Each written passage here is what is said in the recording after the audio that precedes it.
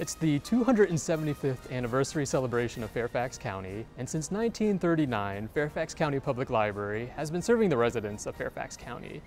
The City of Fairfax Regional Library Precision Book Cart Drill Team is the oldest and in fact the very first library book cart drill team in the United States.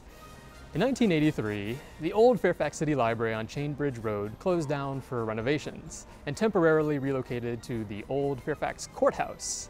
The librarians got together and tried to decide what would be a great way to promote the new location of the temporary headquarters. One librarian, Joy Sibley, a children's librarian, proposed the idea of forming a library book cart drill team.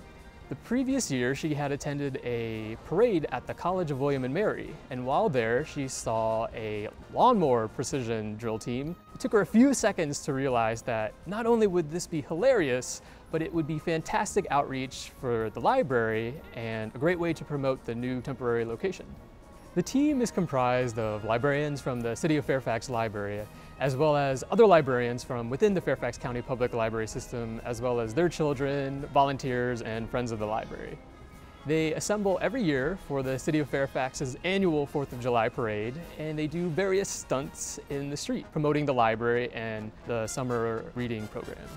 The crowds receive the Library Precision Book Cart Drill Team incredibly enthusiastically.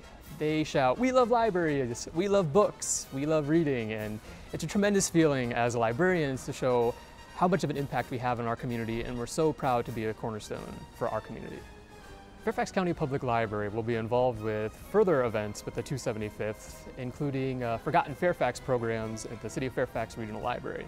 For further information, you can visit the 275th anniversary website.